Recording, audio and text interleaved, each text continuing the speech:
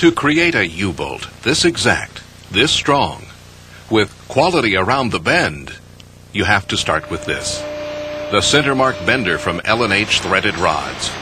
The exclusive Centermark Bender is innovative, efficient, and easy to operate. Take a look.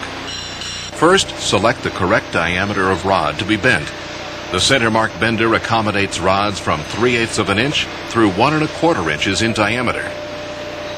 Now select the proper bending die. L&H offers a wide selection of dies to suit your needs.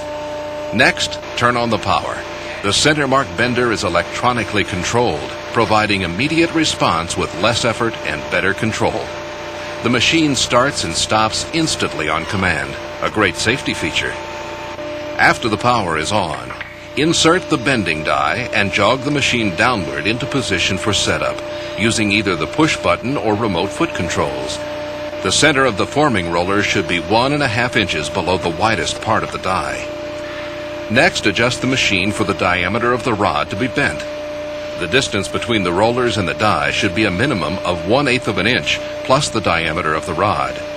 The Centermark bender sets up with a patent pending single screw adjustment, setting both the overbend angle and the width between the bending arms simultaneously which assures equal distance between the bending die and forming rollers during setup. Retract the bending arms to the full up position, insert the rod, and align the center of the rod with the center of the die. L&H Threaded Rods uses their exclusive patented center mark system, which permanently applies a label marking the exact center of the rod, assuring a perfect U-bolt every time. Lock the rod in place against the die with the clamp toggle switch. The Centermark bender's exclusive patent pending wedge lock design holds the rod firmly against the die.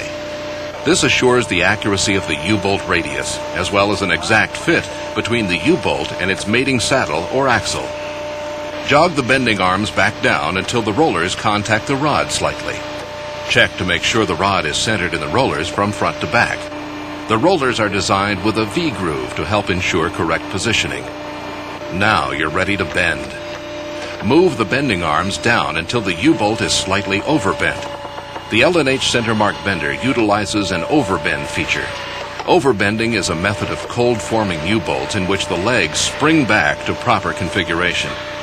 The U-bolt is bent in a single downward pass, creating equal parallel legs.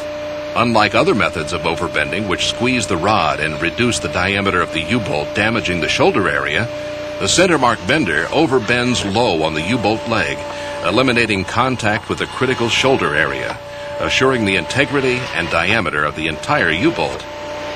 After bending, retract the bending arms to the full up position. Unlock the clamp and remove the U-bolt from the die. Insert the tips of the U-bolt over the bending die as a quality control check. Turn off the power and admire your work. You've made a quality U-bolt and you'll make one every time with the Centermark U-bolt bender from L&H Threaded Rods.